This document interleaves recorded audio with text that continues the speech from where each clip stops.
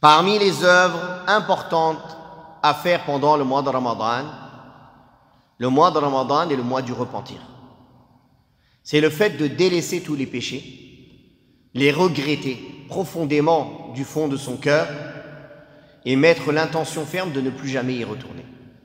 Abu Huraira anhu rapporte que le prophète sallallahu alayhi wa sallam est monté sur la chair, sur le mimbar. Et il a dit Amin, Amin, Amin. Puis ils ont questionné, ô messager d'Allah, tu es monté sur la chair et tu as dit Amin, Amin, Amin.